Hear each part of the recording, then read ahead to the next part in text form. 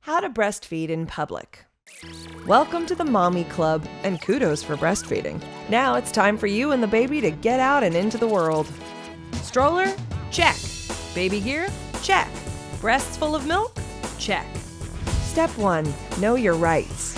When it comes to nursing in the United States, breastfeeding is not considered indecent exposure. You may freely feed your child and expose your breasts in public places, except venues that children or yourself are expressly forbidden.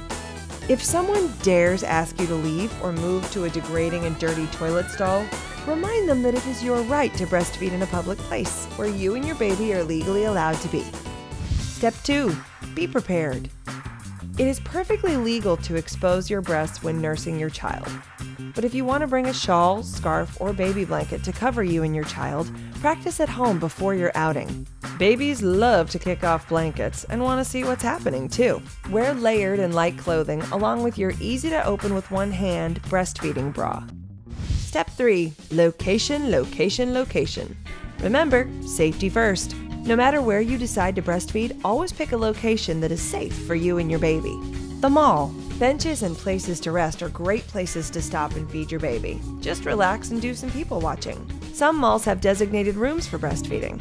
Look for the universal symbol for breastfeeding as a friendly place to nurse. The eatery.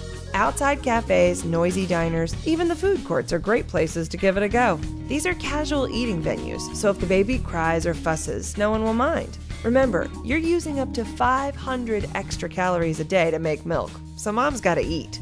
The park.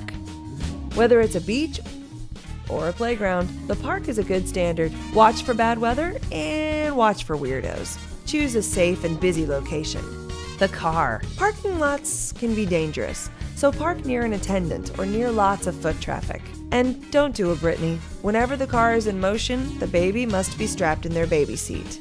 Freestyle. Do like the pros and strap the baby into a carrier or sling, and you can feed and grocery shop at the same time. Although this may not be the most relaxing method for you or your baby.